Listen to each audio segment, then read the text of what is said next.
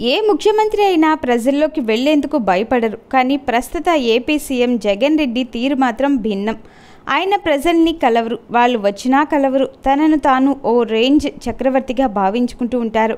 కానీ మళ్ళీ ఎన్నికలు వస్తున్న సమయంలో ఆయనకు ప్రజల్లోకి వెళ్ళక తప్పని పరిస్థితి ఏర్పడుతోంది. నాలుగేళ్ళ కాలంలో మొత్తం అవ్యవస్థ పాలన కారణంగా సొంత పార్టీ క్యాడర్ మాత్రమే కాదు అన్ని వర్గాలు అసంతృప్తిగా ఉన్నాయి. వారిని సంతృప్తి పరిచేందుకు ఏదో ఒకటి చేయాల్సి ఉంది. లేకపోతే కోర్ ఓట్ బ్యాంక్ దెబ్బతింటుందన్న ఆందోళనలో ఆ పార్టీ నేతలు ఉన్నారు. గతేడాదిన్నరగా జగన్ జనంలోకి వెళ్తారని చెబుతున్నారు. జిల్లాల పర్యటనలోని పెద్ద పెద్ద మాటలు చెప్పారు. పదిహేను రోజులు జిల్లా పర్యటనలోనే ఉంటారని కూడా ప్రకటనలు చేశారు.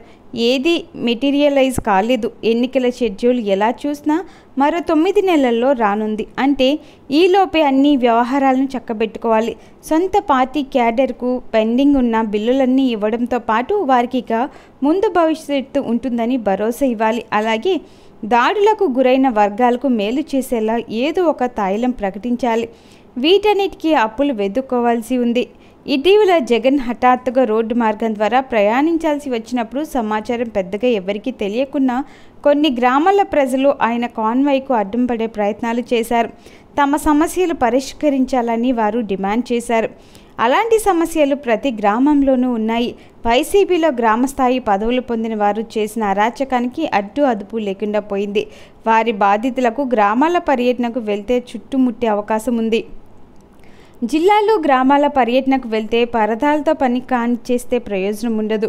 ప్రజలతో మాట్లాడాలి. అలా మాట్లాడడం వల్లే ఎక్కువ సమస్యలు వస్తాయని ఐప్యాక్ గుర్తించిందని అందుకే నేరుగా ఎన్నికల ప్రచారాన్ని ప్రారంభిస్తే మంచిదని సలహాను ఇస్తున్నట్లు చెబుతున్నారు.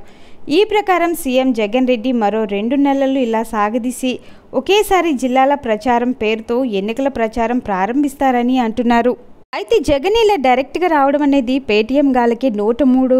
జ్వరం వచ్చే బ్రేకింగ్ న్యూస్ చెప్పడమే జగన్ అని అంటున్నారు రాజకీయ విశ్లేషకులు. మరి చూడాలి ముందు ముందు ఏం జరగబోతోందో.